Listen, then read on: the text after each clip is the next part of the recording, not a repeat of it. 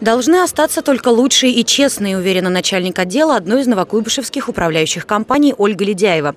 Она передовик отрасли. Именно Ольга Ильинична ввела в своей организации электронный документооборот, чтобы ни одна просьба или заявление жителей не остались без внимания.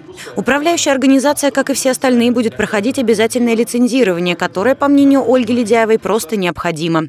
Сейчас услуги будут представляться более высокого качества, потому что те управляющие компании, которые работать не могут, они, конечно, с рынка уйдут. И уйдут справедливо, поскольку должны работать те компании, которые отвечают всем требованиям и законодательства, и требованиям нашего населения. В Самарской области 397 обслуживающих организаций, которые оказывают коммунальные услуги. В этой сфере трудится больше 38 тысяч работников.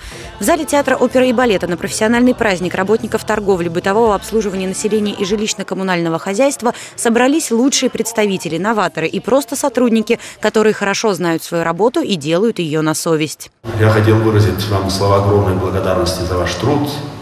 Мы будем вместе с вами, как бы тяжело не было. Будем делать все, чтобы у нас здесь был и порядок, и качество, и комфорт для людей. С праздником вас!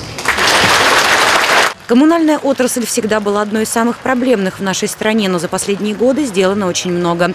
Уровень комфорта жизни людей значительно повысился, и это благодаря тем, кто трудится на благо жителей. Лучшие сотрудники сферы ЖКХ получили благодарности и почетные грамоты губернатора, цветы и памятные подарки.